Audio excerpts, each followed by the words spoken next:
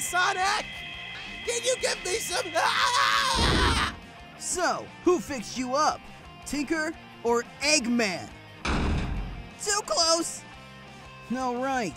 You can't talk as plain old vanilla Metal Sonic.